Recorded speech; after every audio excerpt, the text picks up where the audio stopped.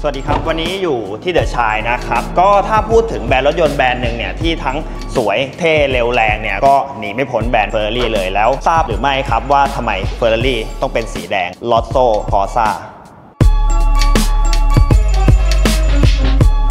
ต้องย้อนกลับไปนะสนามแข่งยุค 1,900 นะครับ เป็นการแข่งขันรถยนต์ทางเรียบที่ยังไม่ได้ชื่อว่าฟอร์มูล่าวันองค์การแข่งขันในยุคนั้นเนี่ยก็กำหนดว่ารถยนต์ไม่ว่าจะยี่ห้อใดเนี่ยถ้ามาจากประเทศเดียวกัน ให้ใช้สีประจำประเทศนั้นๆ ซึ่งรถแข่งสัญชาติอิตาลีทุกคันนะครับ เช่น Alfa Romeo Maserati Lancia หรือว่า Ferrari เนี่ยก็นิยมใช้สีแดงในการแข่งขันจนชาวอิตาลีเนี่ยนิยมเรียกกันว่าสีเนี่ยเป็นสีของรถแข่งอิตาลีเลย จนสหพันธ์รถยนต์ระหว่างประเทศหรือ FIA เนี่ยก็ระบุเรื่องนี้นะครับว่าสีลอโซคอซ่าเนี่ยหรือว่า Racing Race เนี่ยเป็นสีรถแข่งประจำชาติอิตาลีเลยทีเดียว ซึ่งปัจจุบันนะครับก็ทาง Ferrari เนี่ยมีสีให้เลือกถึง 30 เฉดนะครับแต่ว่าถ้านึกถึง Ferrari เลยเนี่ยก็จะนึกถึงเฉดที่มันเเป็นสีแดงอันดับแรก ๆ เลย และยอดขาย 80%ของทาง Ferrari เนี่ยก็เป็นสีแดงลอโซคอซานั่นเอง